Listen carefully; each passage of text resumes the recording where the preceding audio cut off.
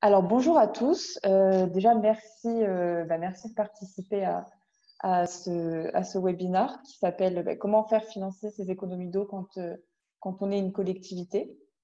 donc, je m'appelle Livia Misaël. Donc, moi, j'ai intégré la startup Green Citizen il y a quelques temps au poste de business developer. et je m'occupe principalement de notre offre d'arrosage intelligent pour les espaces verts. Et bah, du coup, je suis euh, beaucoup en contact avec les collectivités euh, de France ou, ou de l'étranger. Euh, et on parle beaucoup donc, des dispositifs d'aide qui existent aujourd'hui pour, pour les aider à faire financer leurs projets. et c'est pour ça, du coup, qu'on trouvait important bah, de faire une, une, conférence sur cette thématique-là pour pouvoir diffuser à un plus grand nombre de l'information.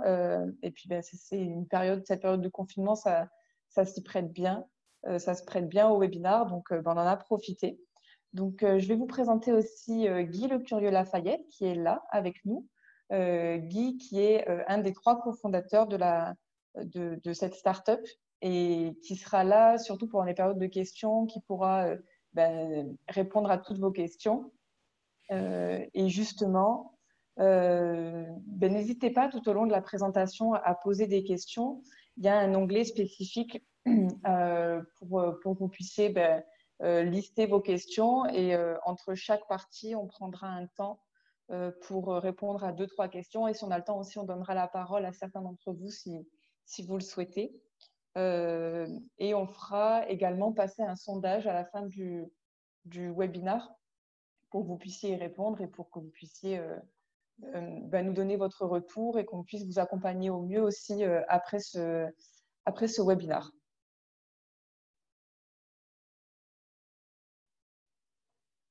Alors, on va commencer. Euh, donc, pour vous présenter brièvement, donc Green Citizen, nous, on est donc une éco-startup qui a été créée en 2015 et on a un positionnement sur de l'IoT environnemental. Alors, nous, ce qu'on entend par IoT, c'est tout ce qui est solutions et objets connectés. Euh, et donc, ce positionnement euh, sur, euh, vraiment sur l'environnement nous a permis d'être labellisé par le, par le ministère de l'Environnement, le ministère de la Transition écologique et solidaire. donc, on nous a attribué le, ce label Green Tech, Green Tech Verte, qui n'a fait que renforcer bah, notre, notre positionnement, notre vocation à faire de l'IoT au service de l'environnement. Donc, ce qu'on propose, ce sont des, solutions sur différents cas d'usage avec euh, toujours la même vision de fond qui est capter la réalité avec euh, des capteurs connectés euh, pour être en mesure en fait de prendre de meilleures décisions, de gagner du temps, de faire des économies, mais aussi de préserver la planète et de, préserver les ressources. Donc, comme je vous le disais tout à l'heure, nous, on travaille énormément avec les, villes et avec les collectivités en général, donc les communes, les métropoles, les départements, les régions, euh, sur différents sujets Smart City. Donc, euh, ben, de l'arrosage intelligent, ce, ce, qu'on va parler aujourd'hui, donc qui sont des dispositifs qui permettent de faire d'importantes économies d'eau et de déplacement. mais on a aussi des solutions d'assainissement intelligent, où là, on va surveiller en continu les réseaux d'assainissement, les réseaux pluviaux, euh, comme par exemple à Marseille, on va déployer des milliers de capteurs dans le réseau pluvial de la ville euh, pour pouvoir ben, mesurer le niveau de, déchets dans les avaloirs et, optimiser les tournées de nettoyage euh, des agents avant que ces déchets ne se retrouvent dans la mer. Et on a également un volet sur de la propreté intelligente. Donc là, ça va plus être avec les métropoles où on va équiper les PAV, donc les points d'apport volontaires de capteurs de niveau, où encore une fois, on va mesurer le niveau de déchets euh, pour pouvoir optimiser la collecte euh, des déchets qui sont faits par les agents. Donc, on va rentrer dans le vif du sujet. Euh, donc, ce pourquoi on est là aujourd'hui, c'est-à-dire faire des économies d'eau tout en continuant à arroser les espaces verts, juste en, apprenant à les, arroser, à, les arroser mieux et, à les arroser moins aussi. Donc, ce qu'il faut savoir, c'est qu'en France, euh, l'arrosage, des espaces verts, ça concerne 55 000 hectares. Donc, il y a 55 000 hectares euh, d'espace à arroser. 55 euh, 000 hectares, en fait, c'est cinq fois la ville de Paris. Donc, pour vous donner une, idée, c'est assez énorme. Et aujourd'hui, il y a encore 91% des communes qui arrosent à l'eau potable. alors qu'on sait que c'est quand même une ressource rare, c'est une ressource qu'il faut préserver. Et l'eau de l'arrosage, ça représente 65% du volume d'eau total utilisé par, par le service des espaces verts. Et si on parle d'un point de vue pécunier, ça représente aussi 11% de leur budget, euh, du, budget total de, ce service. Donc, c'est assez, euh, assez conséquent. Et si on parle d'un point de vue aussi euh, environnemental, ce qu'il faut savoir aujourd'hui, c'est que les, collectivités, souvent, elles n'ont aucun contrôle sur leur consommation d'eau. Et donc, les pertes sont assez, sont assez considérables. Donc, le plus flagrant, nous, qu'on remarque aujourd'hui, ça va être euh, les arrosages qui sont euh, inutiles, mais qui sont pourtant déclenchés, et également les, fuites qui sont cachées sur le réseau et qui en plus résultent sur un non-arrosage des espaces. Euh, en 2014, les fuites d'eau sur le réseau potable en France, ça représentait 1,3 milliard de mètres cubes d'eau. Donc des 1,3 milliard d'eau qui étaient en plus mais qui étaient perdus. Et aujourd'hui, quand on regarde plutôt sur l'arrosage des espaces verts, c'est un litre d'eau sur trois qui est, euh, qui est gaspillé. Et en termes de déplacement, euh, donc dans, pas mal de villes, ce sont les agents des espaces verts qui vont se déplacer pour déclencher manuellement l'arrosage euh, et ensuite revenir le fermer.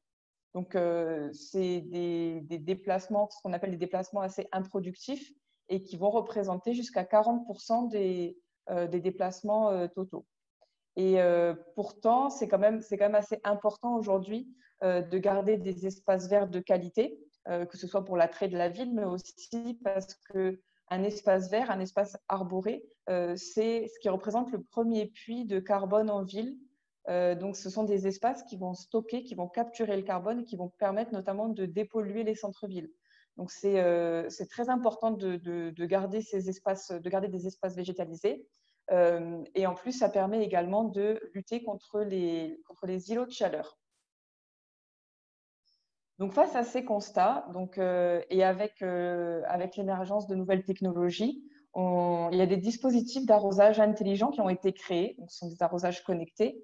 mais en fait, on va vous expliquer ce que c'est ce que vraiment qu'un arrosage intelligent et pourquoi est-ce qu'on dit qu'il est intelligent. Euh, donc déjà, pour qu'il soit intelligent, donc un arrosage doit euh, euh, récupérer des, mesures d'humidité du sol, c'est-à-dire qu'on va mesurer le, stock d'eau qui est présent dans le sol. Et à ces mesures-là, on va agréger des données météo, des données de pluviométrie, mais également la consommation d'eau réelle d'un espace. Donc ces données-là vont remonter vers une plateforme, que ce soit une application web ou une application mobile, où elles vont être traitées avec des algorithmes euh, pour savoir si un arrosage est nécessaire et s'il est nécessaire, déclencher l'arrosage. Donc en fait, c'est euh, cette capacité d'ajustement quotidienne de l'arrosage euh, qui va permettre d'obtenir des, économies qui sont absolument inatteignables, même avec, même avec les, meilleurs modèles qui existent aujourd'hui. Donc en fait, en une phrase, si on devait résumer l'arrosage intelligent, c'est surtout un arrosage au plus juste, un arrosage avec euh, beaucoup de précision. Euh, et justement, c'est aujourd'hui ce qui manque. Donc, quand on regarde un petit peu les, différents dispositifs d'arrosage qui existaient jusqu'à aujourd'hui, donc on a les programmateurs à piles qui permettent, dans le meilleur des cas, des ajustements de planning trois fois par an. après, il y a les arrosages centralisés qui, eux, permettre de déclencher un, arrosage à distance, euh, mais qui nécessite ben, une installation filaire. Euh, c'est souvent assez, euh, assez coûteux à, installer et aussi à maintenir. et aussi, ce sont des solutions propriétaires, donc ce sont des solutions qui sont fermées et qui ne vont pas pouvoir permettre ben, d'ajouter des fonctionnalités ou de, de proposer des solutions plus, plus ouvertes. Par exemple, je ne sais pas, ça va simplement déclencher, de l'arrosage. Si vous voulez intégrer de nouvelles fonctionnalités ou d'autres cas d'usage, ce ne sera pas possible. Euh, l'avantage avec des solutions autonomes, des solutions connectées comme, comme de l'arrosage intelligent, euh, en fait, on va réunir les avantages des, deux générations, donc avec la simplicité d'installation et d'utilisation, euh, et également les, avantages de l'arrosage centralisé avec de la commande à distance. Et en plus, il y aura ben, des fonctionnalités autres euh, qu'on va voir aussi, par exemple, une solution d'arrosage intelligent, donc que ce soit pour un jardin, pour un, pour un espace vert, pour un toit végétalisé, pour un rond-point. concrètement, ça va, ça, va, ça va être une, des capteurs connectés, donc un contrôleur d'électrovannes connecté qui va piloter jusqu'à quatre électrovannes. donc ça, c'est un petit peu ce qu'on trouve, ce qu'on trouve sur le marché. Donc euh, on va dire le standard du marché. Euh, à ça, on rajoute un capteur d'humidité de sol. Euh, donc, on a soit des, sondes capacitives, soit des sondes tensiométriques. Donc là, ce que vous avez, c'est une sonde tensiométrique qui va mesurer bah, le taux d'humidité, la température et certaines vont aussi mesurer l'électroconductivité. on va également rajouter un compteur d'eau connecté ou si un compteur est déjà en place, euh, on va simplement rajouter une tête de lecture euh, qui, va, euh, qui vont tous les deux en fait lire l'impulsion à, chaque, chaque démarrage de compteur pour connaître la consommation d'eau réelle d'un espace et la consommation d'eau réelle à chaque arrosage. et ça va aussi, nous, dans notre cas, permettre d'automatiser la détection de fuite. et à ces trois, ces trois équipements, on, ben, on va venir piloter l'arrosage avec, euh, avec une application, donc euh, que ce soit une application web ou une application mobile, c'est ce qui va remplacer vos programmateurs. Euh, donc, vous allez pouvoir programmer votre, votre arrosage depuis votre application et, et également visualiser d'autres données connectées de vos parcs et de vos jardins. Donc, nous, la particularité, c'est qu'on va également, avec notre solution Unbox, on va rajouter des outils de maintien opérationnel donc, on a vu avec, euh, dans, différents rendez-vous que c'était assez important pour les collectivités d'avoir une cartographie des espaces verts pour pouvoir avoir un, descriptif euh, sous la main de tous vos espaces verts pour savoir ce qui se passe, euh, avec un journal d'intervention pour répertorier ben, toutes les activités de maintenance qui sont à faire ou qui ont été faites. et on a également rajouté des indicateurs environnementaux avec les économies d'eau réalisées, la capture de CO2 euh, et l'impact de votre arrosage sur les îlots de chaleur. Et ça, on va voir notamment que c'est important pour, euh, pour la deuxième partie de, euh, de ce webinaire. Donc, si on devait résumer les bénéfices de ce type de solution, donc comme on disait, ce sont les économies d'eau. Avec ce type de, dispositif, nous, on, constate des économies d'eau de moyenne à 30 euh, qui vont aller jusqu'à 67% euh, lorsqu'il y a des fuites cachées. On, sait que ça, chiffre très vite quand on se rend compte au bout de quelques mois qu'il y avait une fuite sur le réseau euh, qui consommait des centaines de mètres cubes. Donc, on, voit que les économies sont, assez, considérables. également, la réduction de, de déplacement.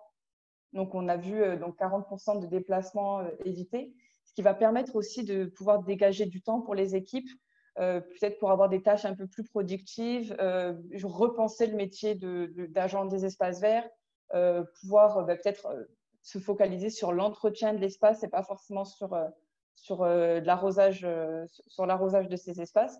Donc c'est vraiment un gain de temps bah, qu'il faut mettre à profit.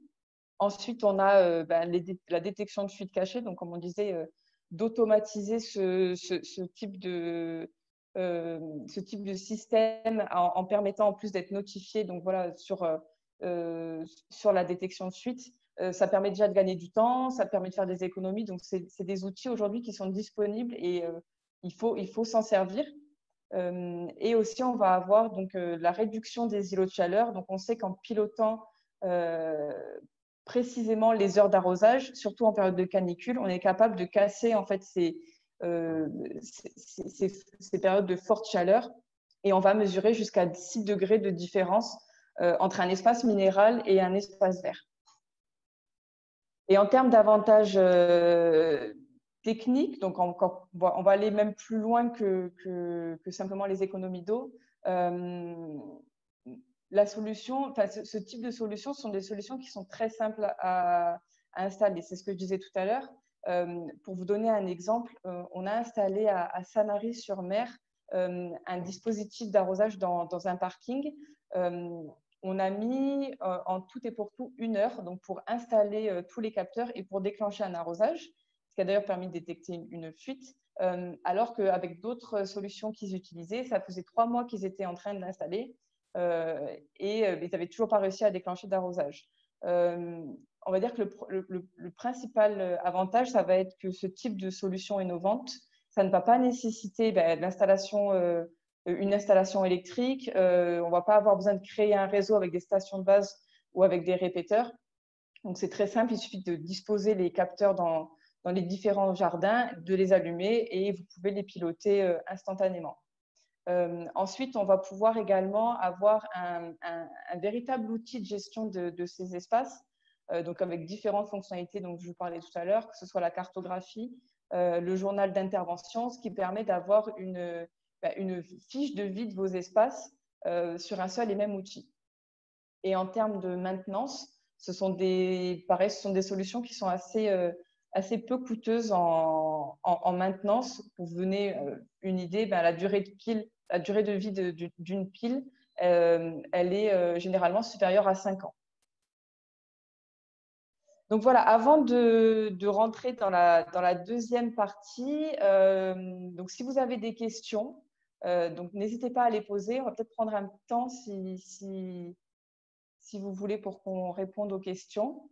Si vous avez des interrogations sur ce type de dispositif, euh, ou si vous voulez prendre la parole, euh, ben, n'hésitez pas à le faire maintenant. Et peut-être Guy, si tu as des choses à rajouter sur ce que j'ai dit. Euh, non, c'était très, c'est très bien. Donc, effectivement, Guy, Guy Lafayette. Donc, alors, une petite précision là sur, les, sur la partie capteur. Donc, effectivement, Lydia a dit qu'il y avait deux types de capteurs, tensiométriques, tensiométriques et capacitifs. Donc, ce que ce que l'on a à l'heure actuelle, c'est du capacitif et effectivement, on intègre aussi du tensiométrique. Donc, il y a des avantages et des inconvénients des, deux technologies. Euh, voilà, donc euh, à terme, on aura les deux options sur euh, la partie Unbox. Bah, alors, j'ai vu qu'il y a possiblement Mathilde qui, a, qui aurait une, question. Qui nous dit est-ce que ce type de dispositif nécessite d'avoir de la Wi-Fi ou de la 3G sur chaque massif? Euh, alors Guy, je ne sais pas si je te laisse répondre à cette question. Je peux, répondre, effectivement. Euh, donc, on, est sur des technologies qu'on appelle du LP1, donc c'est du Low Power Wide Area Network. En fait, c'est des technologies qui sont spécifiquement adaptées à, à, l'IoT, donc aux objets connectés. Donc, on n'utilise ni Wi-Fi parce que c'est très gourmand en, énergie, ni 3G parce que c'est aussi gourmand en énergie euh, et, c'est beaucoup trop de données, en fait. La 3G ou la 4G est utilisée pour transporter des, photos ou des images. Là, on transporte très peu de données, d'où l'intérêt euh, pour une durée de batterie beaucoup plus longue. Hein. donc, on a une durée de batterie qui dure jusqu'à 5 ans, même voire même plus. Euh, donc, moins de maintenance, moins d'intervention sur site et ce sont des technologies qui se connectent directement sur des réseaux déjà déployés ou pour certaines villes qui ont, une ambition euh, Smart City, qui déploient directement leur propre réseau euh, LoRa, par exemple, on peut venir s'intégrer sur ce réseau aussi. Voilà. Donc, pas besoin de Wi-Fi, ni de 3G, ni de carte SIM. Ni de... Et c'est un peu ça l'avantage pour le déploiement, c'est que c'est très très simple en fait. Il suffit d'allumer le capteur, et il se connecte et il est reconnu directement sur le réseau. Je ne sais pas si, euh, si, vous avez d'autres questions, s'il faut préciser, euh, n'hésitez pas. Alors, on a une autre question de euh, Guillaume qui nous demande si ce système s'installe sur des installations existantes. quels sont les moyens de communication? Donc, ça, on en a un petit peu parlé. Et par, par installation existante, il parle de programmateurs autonomes du type TIBOS. Alors là aussi, je peux répondre. Donc, donc en fait, euh, comme l'avait présenté Livia, nous, on est sur une, technologie qui mélange à la fois les avantages du TIBOS et des, solutions centralisées un peu plus, euh, je dirais, euh, qui existent à l'heure actuelle, mais qui sont compliquées à mettre en, place avec des, niveaux de relais et, et une organisation de communication assez complexe. Donc, vous avez votre TIBOS qui fonctionne sur, euh, dans votre regard. Euh, vous pouvez venir déployer une inbox contrôleur Electrovan en lieu et place du TIBOS. L'avantage, c'est que vous aurez une connectivité de cet Electrovan et pouvoir programmer à partir de votre application n'importe où la programmation de ces électrovannes. Vous pouvez aussi synchroniser les déclenchements.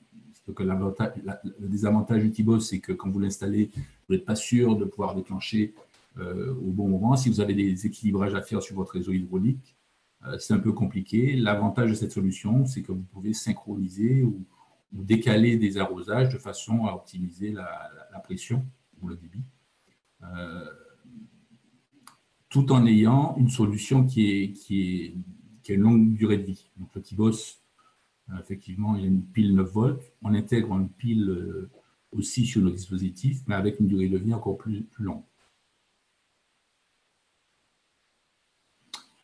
Euh, moyens de communication, effectivement, on en a parlé. Voilà, je pense que j'ai répondu, sauf si euh, vous aviez d'autres questions. Alors, je crois qu'il y a quelqu'un qui souhaite parler. Euh, Dominique, je vais vous donner la parole. Allez-y, Dominique, on vous entend. D'accord, bonjour. Euh, je, m'interrogeais si en mettant une sonde, on peut piloter plusieurs, sites. C'est-à-dire que si on prend une sonde euh, qui mesure l'humidité, on a des sols sur différents sites mais qui se ressemblent. Et est-ce qu'avec cette sonde, on peut piloter directement plusieurs sites? Alors, en général, effectivement, avec ce dispositif, l'avantage, c'est que vous pouvez faire de l'arrosage différencié, c'est-à-dire suivant le type de, jardin que vous avez, ça peut être des massifs, ça peut être du gazon, ça peut être euh, euh, donc avec des besoins plus ou moins importants en eau, euh, vous pouvez euh, adapter la, quantité d'eau. Donc le système aussi s'auto-adapte, c'est-à-dire qu'on va mesurer l'humidité du sol et à partir de critères de, seuil, de gabarit que l'on a, définis en fonction du type de végétal ou de, sol, on pourra ajuster l'arrosage. Enfin, en tout cas, l'arrosage va s'ajuster automatiquement. effectivement, il vaut mieux prévoir d'associer un capteur à un type d'espace, de, façon à ajuster au mieux. Hmm.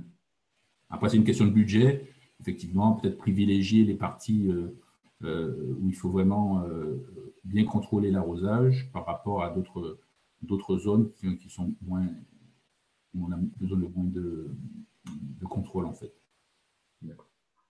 Vous êtes vous-même vous êtes vous-même dans les espaces verts ou? Oui, oui, je, suis, responsable technique dans une collectivité, et puis on, a une petite quinzaine d'hectares d'espace vert. Vous avez, vous avez une solution centralisée? Euh, Non, on n'est pas en centralisé, on est en système T-Boss essentiellement. D'accord. L'avantage de la solution qu'on propose, c'est qu'elle que, est simple. Sur, pour remplacer du T-Boss, il suffit simplement de débrancher, le, puisque vous avez déjà des électrovannes 9 volts. Oui. Il suffit de débrancher le T-Boss et puis de brancher notre solution en lieu et place il y a même des clients qui ont, fait le, branchement en parallèle de façon à toujours garder leur T-Boss et mettre en place notre solution. Hmm. C'est vrai qu'aujourd'hui, avec le, T-Boss, enfin, de, notre, côté, on souffre un petit peu du manque de réactivité. Euh, quand il y, a des, puits, on a tendance des fois à laisser l'arrosage alors qu'il est pollué. Là, l'avantage, c'est que chaque jour, vous pouvez changer la programmation du, euh, de l'électrovanne si vous êtes en programmation manuelle. Et si vous êtes en programmation automatique, c'est le système qui va automatiquement adapter en fonction des conditions météo et de, l'humidité du sol, la quantité d'eau apportée au, jardin. Hmm.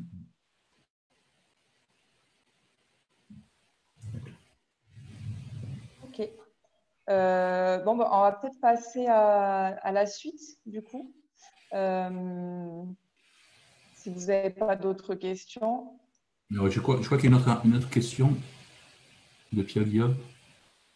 Que la recherche est adaptée automatiquement. Il s'agit de définir une règle depuis la plateforme. Euh, c'est ça, tout à fait. Donc, euh, à partir de la plateforme, on va définir euh, des seuils, des seuils, un gabarit en fonction du taux d'humidité, et, la plateforme va adapter l'arrosage en fonction de, ces, retours de taux d'humidité.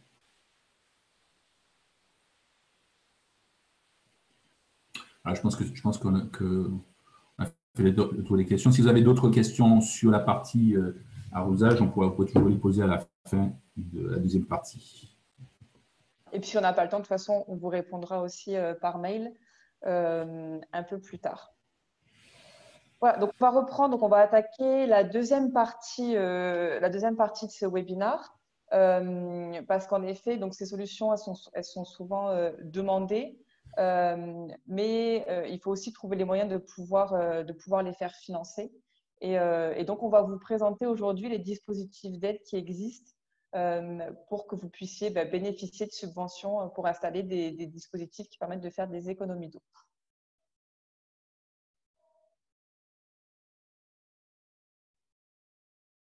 il veut bien, voilà. Euh, donc aujourd'hui, on va principalement parler des agences de l'eau. Euh, alors, je ne sais pas si, euh, vous connaissez l'agence de l'eau de votre région. donc aujourd'hui, il en existe six. Donc c'est un organisme national mais qui est découpé par région. Donc vous allez en trouver une en Rhône-Méditerranée-Corse, Loire-Bretagne, Adour-Garonne, Rhin-Meuse, Seine-Normandie et, Artois-Picardie. Euh, donc, toutes ces agences sont, euh, sont, dispersées sur le territoire et elles ont toutes, euh, même si elles ont des programmes communs, elles ont aussi leurs spécificités. donc, moi, ce que, je vous invite à faire, c'est d'aller voir aussi, en fonction de votre région, le site de votre agence de l'eau. donc, chacune a son propre site et vous allez pouvoir ben, vous renseigner sur tous les dispositifs qui existent, que ce soit pour les économies d'eau, mais ils financent également euh, des projets sur, sur de l'assainissement, sur la dépollution de l'eau. Euh, donc, si vous avez d'autres euh, d'autres projets en tête, peut-être pour votre collectivité, ben, n'hésitez pas à aller voir ou également à prendre contact avec eux. donc, ils sont assez réactifs et, ils peuvent aussi vous aider dans vos démarches.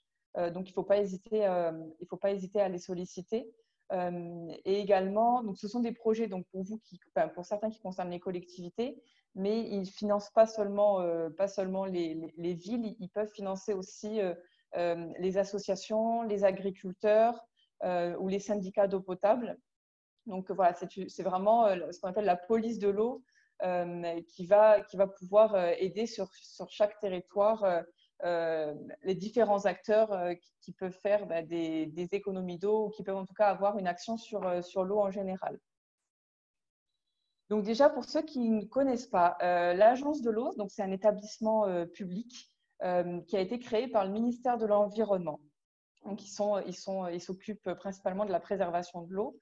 en fait, c'est un impôt qui est collecté auprès des collectivités et qui va être réinvesti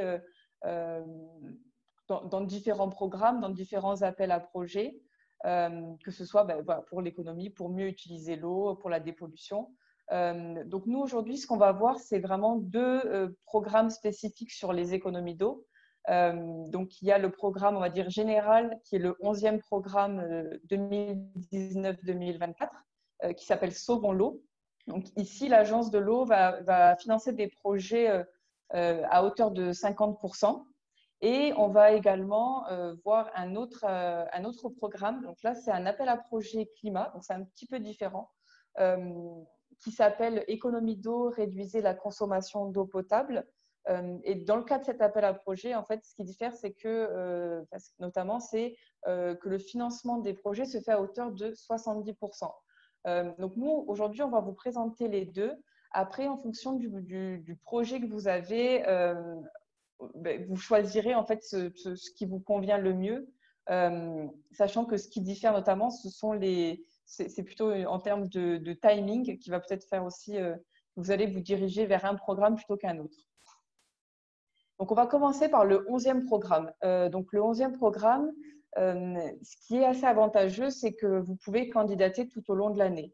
En fait, les, différentes agences de l'eau font des commissions, donc c'est tous les mois ou tous les mois et demi, où elles vont étudier les dossiers qui sont entrés et statuer dessus pour savoir ben, quel projet sera financé donc, ils ont quatre priorités pour ce, pour ce programme euh, qui sont donc lutter contre la pollution pour améliorer la qualité des eaux, euh, mieux partager et économiser l'eau. Donc là, c'est nous, on rentre en, jeu.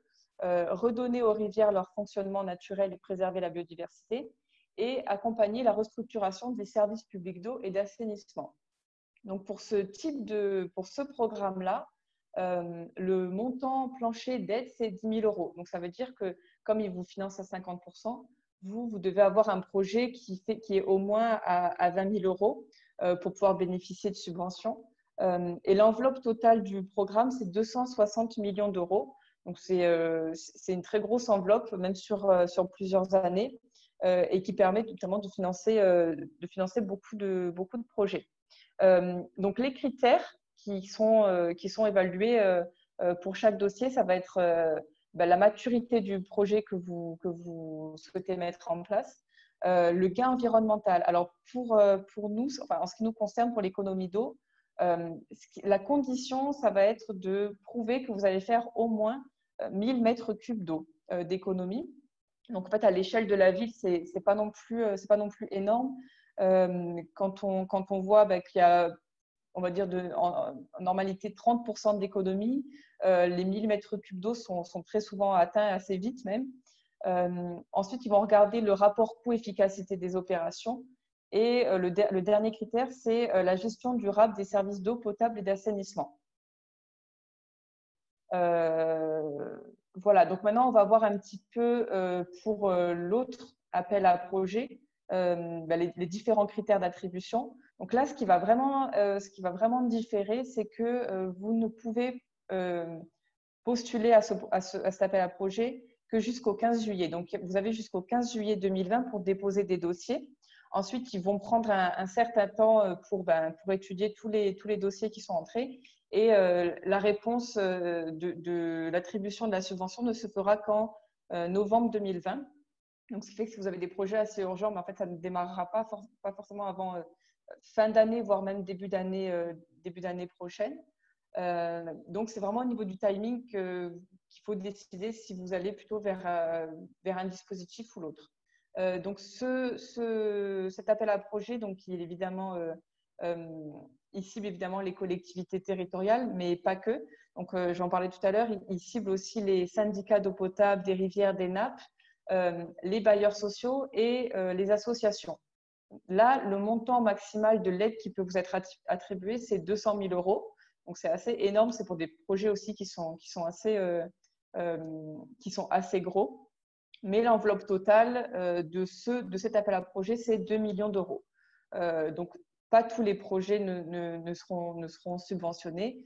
Euh, et là, les critères de sélection, ça va être tout ce qui est... Euh, euh, ils vont financer tout ce qui est études, diagnostic des consommations, les dispositifs hydroéconomes dans les bâtiments publics, la réduction de l'arrosage des espaces verts, notamment des solutions d'arrosage connecté, d'arrosage intelligent, mais également toutes les actions de communication, de sensibilisation ben, autour des économies d'eau. Donc, si euh, pour, euh, votre commune euh, ou votre association, c'est quelque chose qui est, important, que vous souhaitez, mettre en place des événements, des actions de sensibilisation, vous pouvez également postuler à, cet appel à projet pour, pour pouvoir ben, faire financer ces événements-là.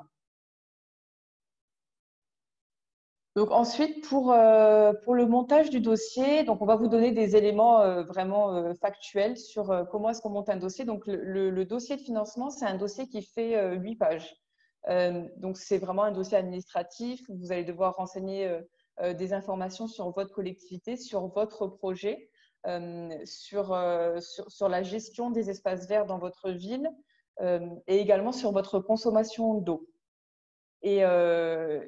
Et vous avez donc deux, ce qu'on va appeler deux mémoires techniques à, rendre. Euh, dans un premier temps, qui va être euh, pour l'étude. Donc, euh, il y a un, cahier des charges à faire avec le diagnostic de votre consommation actuelle et les solutions qui sont envisagées pour réduire ces consommations. donc, ce qu'il faut savoir, c'est que tout ce qui est cahier des charges,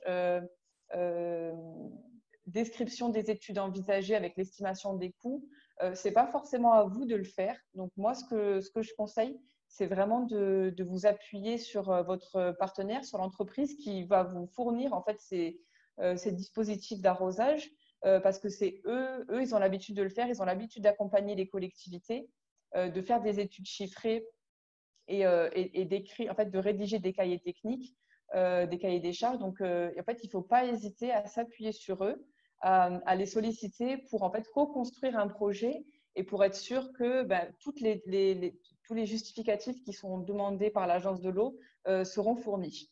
Donc voilà, donc dans la partie étude, c'est vraiment le cahier des charges de l'étude avec la description des solutions qui sont envisagées pour réduire votre consommation d'eau et une estimation des coûts des études et des missions d'assistance, tout ce qui est maîtrise d'ouvrage. Donc c'est vraiment un dossier assez simple, assez simple à faire du moment qu'on connaît le projet en détail. Ensuite, l'autre dossier à rendre, ça va être un mémoire technique euh, donc là, ça va être pareil, euh, la description de la situation actuelle, euh, le cadre de votre projet, pourquoi vous souhaitez mettre ce projet en place, avec les, objectifs que vous souhaitez atteindre au bout de six mois ou d'un an. avec donc vous intégrez ici donc les consommations les consommations d'eau de votre collectivité avec les économies attendues. Donc vous reprenez en fait ce qui a été dit dans le cahier dans le cahier des charges qui a été fait pendant l'étude avec tout ce qui est description technique du projet, donc les rétro-planning, euh, le contenu des, équipements qui vont être installés. Donc là encore, en fait, euh, il ne faut pas hésiter à s'appuyer sur, euh, sur, votre, sur l'entreprise partenaire, sur votre fournisseur, qui doit vous remettre en fait tous ces, tous ces éléments-là. Et également avec les moyens envisagés pour le suivi et l'évaluation en fait du, projet. Donc là, ce qui est nous, là où on a souhaité faciliter le travail des collectivités, c'est que, comme je vous ai montré tout à l'heure, vous pouvez euh, visualiser les économies d'eau qui sont réalisées euh, chaque jour. Donc, ce qui vous suffira de faire, c'est de faire un extract de ces données. Donc, c'est notamment possible sur des, applications comme, euh, comme on, vous a montré. Donc, vous faites un extract des données pour avoir en fait bah, toutes les économies d'eau que vous avez réalisées depuis que vous avez mis en place ce, type d'équipement. Donc, ça facilite vraiment même le suivi pour l'agence de l'eau, euh, elle pourra avoir un suivi même régulier si elle vous le demande. Pour vous, il suffit simplement de euh, récupérer les données d'une application. Euh, vous devez ensuite fournir aussi bah, l'échéancier de, réalisation du, projet et bah, le détail du coût donc par poste. donc là aussi, c'est votre fournisseur, votre entreprise partenaire qui doit vous fournir ces, ces détails-là. Et comme je disais tout à l'heure, il y a aussi un financement pour tout ce qui est sensibilisation, action de communication. Donc à ce moment-là aussi, il faudra inclure, si c'est quelque chose que vous voulez faire, vous pouvez l'inclure dans ce mémoire technique pour être sûr qu'il soit, sera pris en compte, qu'il sera euh, voilà. Donc en fait, ça, ce sont les pièces justificatives qui sont communes aux deux, euh, aux deux dispositifs. Euh, le, même le dossier de candidature en lui-même, en fait, c'est souvent le même euh, que ce soit pour le, 11e programme ou que ce soit pour l'appel à projet. Donc moi, tout ce que j'ai fait, c'est que dans la, dernière slide, je vous ai mis aussi ben, les liens des, deux dossiers de candidature. Comme ça, vous pourrez aller voir de vous-même, en fait, parce que je vais vous envoyer la présentation. Donc, vous pourrez aussi aller voir de vous-même ben, ce que c'est. Vous pourrez vous faire une idée aussi, parce que ce n'est pas forcément quelque chose de très compliqué à remplir, c'est même souvent assez rapide, du moment que vous avez un projet qui est établi. Voilà, donc si on, résume un petit peu euh, ce qu'on s'est dit pendant cette conférence, euh, mais déjà pour le, les, nouveaux dispositifs, euh, notamment l'arrosage intelligent, donc si c'est vraiment des enjeux de, votre collectivité, de faire des économies d'eau, de réduire vos déplacements, aussi d'automatiser certains, certains outils comme d'avoir des outils d'automatisation pardon, qui vont vous permettre notamment de détecter des fuites cachées euh, et d'avoir un impact sur, euh, sur les, îlots de chaleur. On sait que pour beaucoup de villes, c'est un enjeu majeur, ça devient un enjeu majeur, euh, quelque chose auquel il faut, il, faut se, sur laquelle il faut se pencher. Donc, c'est vraiment des dispositifs qui incluent, qui incluent de nombreuses fonctionnalités. Donc, pas seulement déclencher, ouvrir, fermer des électrovannes, mais c'est vraiment des outils de gestion globale des espaces verts euh, c'est notamment la, beauté de la technologie qui permet d'avoir ce type de solutions et qui sont en plus très très simples à utiliser. Euh, donc voilà, il ne faut pas s'en priver. N'hésitez pas à demander des informations sur les différents dispositifs qui, euh, qui peuvent exister ou en fonction du projet que vous avez. N'hésitez pas à, bah, solliciter plusieurs, même plusieurs entreprises. donc moi, ce, donc ce que je vous disais tout à l'heure, c'est que je vous ai mis les différents liens des, des dispositifs de financement de l'agence de l'eau. Euh, et si ça ne répond pas forcément à toutes les questions que vous avez, n'hésitez pas bah, à, m'appeler directement sur mon téléphone ou à m'envoyer un mail. Donc, si vous avez vraiment des questions spécifiques, on est là pour ça aussi, pour vous accompagner dans vos projets d'économie d'eau ou dans vos projets de rénovation de vos espaces verts. Donc voilà, il ne faut pas hésiter à, à, nous solliciter. donc, avant qu'on passe aux questions-réponses, je vais lancer le sondage euh, donc voilà, pour que vous puissiez y répondre et qu'on puisse aussi avoir un petit peu un, un, avis sur, euh, sur, euh, sur votre collectivité, sur les projets qui sont en train d'être faits. et on va aussi donc maintenant passer aux questions-réponses. J'ai vu qu'il y en avait plusieurs. donc Guy, si tu es là, on va pouvoir oui, tout à fait. Alors, question, ou, sauf si les, les personnes veulent poser les questions à l'oral. Alors, on a euh, une question, euh, une question de Guillaume qui demande est-ce que la demande de financement euh, peut se faire a posteriori de l'étude? Alors, alors ça, je pense que ça dépend aussi de, des contacts que vous avez avec l'agence de l'eau. ils font aussi très souvent du, un peu du cas par cas. Donc, si vous les avez peut-être solliciter en amont pour leur dire que vous aviez un projet et ensuite euh, que vous, avez fait une étude, donc ils sont au courant que vous avez des projets en cours. Euh, sinon, c'est vrai qu'il faut, il faut quand même souvent euh, faire une demande de financement avant de faire même une étude ou un diagnostic. donc là, je pense qu'il faut voir directement avec votre, avec votre, votre agence de l'eau. Je ne sais pas où est-ce que, de, quelle région vous êtes. Et ensuite, on a une, euh, une deuxième question de Thierry euh, qui nous dit comment comparez-vous euh, l'économie d'eau N-1 zone traitée et zone non traitée? Alors, je peux essayer de répondre. Alors, donc effectivement, il y a, deux, aspects. Il y a l'avant et après. donc, comment on compare une économie, économie d'eau? Donc, dans le dispositif tel que qu'on le déploie, on intègre aussi un, compteur d'eau connecté, euh, donc qui nous remonte la quantité d'eau euh, par arrosage. Quand on démarre le pilotage de l'arrosage en automatique, on va mettre en place euh, les paramètres habituels, je de, l'année d'avant en termes de, durée. Donc, on a une base de référence qui va permettre de calculer une quantité d'eau moyenne par rapport à l'année précédente et comme le système va adapter automatiquement euh, son arrosage, on sera en mesure de voir l'écart. L'écart, la différence entre, entre la consigne initiale et euh, le, le, contrôle euh, quotidien. Donc ça, ça nous donne déjà une, une comparaison. L'autre possibilité aussi, c'est eh ben, si vous avez déjà des quantités d'eau consommées par rapport à l'année d'avant, on peut comparer effectivement le, résultat. Donc ça, c'est dans le temps. Alors après, la question, je pense, euh, pose aussi, est posée aussi sur une zone traitée et non traitée. Donc là, si vous avez deux zones identiques, on peut très bien instrumenter euh, un système euh, d'arrosage automatique et en parallèle laisser votre système classique en peut-être peut connectant un compteur d'eau et on peut contrôler les deux systèmes en parallèle. Alors, je ne sais pas si j'ai répondu à votre question. N'hésitez pas à la, reposer si, besoin. Ouais, on a une, autre question euh, de Christelle qui nous dit euh, Bonjour, nous avons déjà un logiciel cartographique pour la gestion de notre éclairage public. Euh, pouvons-nous utiliser notre logiciel pour contrôler votre système? Alors, quand on parle de logiciel, faut, faut, la première question à se poser, c'est est-ce qu'effectivement c'est un, une solution spécifique dédiée qui est, euh, propriétaire, un peu, ce que, comme on l'expliquait tout à l'heure sur les systèmes centralisés qui sont vendus par euh, Render, Hunter ou Toro. Donc ça, ce sont des solutions qui sont qu'on appelle propriétaires, où il n'y a pas d'interopérabilité, d'échange de données possible entre, euh, entre plusieurs systèmes.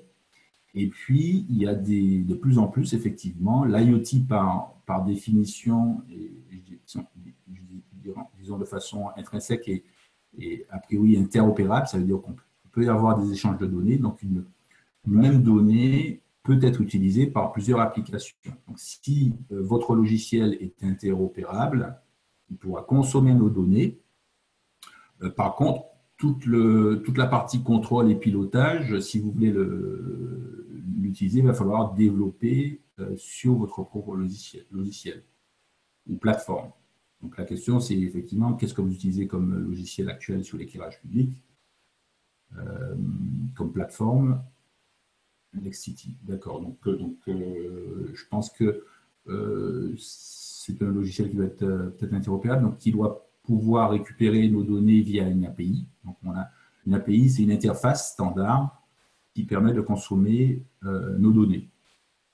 Euh, donc ça, c'est pour la donnée qui remonte. Donc vous aurez toutes les données d'humidité, euh, comptage d'eau euh, et toute la gestion du parc, parce qu'on a aussi ce qu'on appelle du device management qui permet à tout moment de savoir quel est l'état du parc, le, fonctionnement du parc de capteurs et de contrôleurs.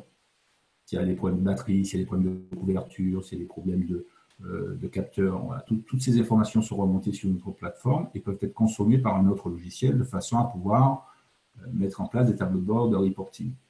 Dans l'autre sens, si vous voulez contrôler le, le, le contrôle il va falloir implémenter une interface particulière entre ce logiciel Nexity et notre plateforme. Donc à voir.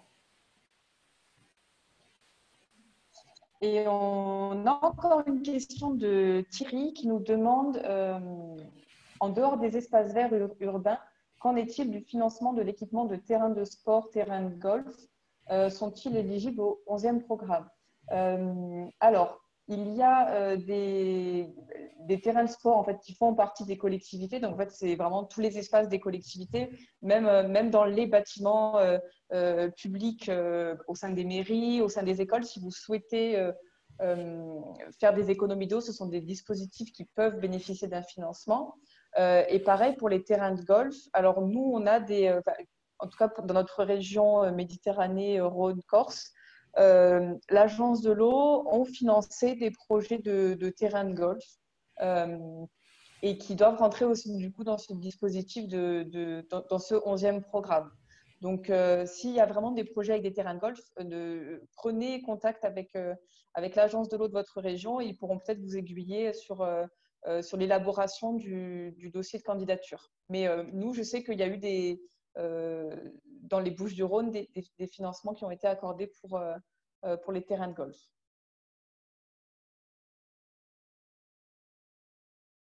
Alors, est-ce que vous avez d'autres questions?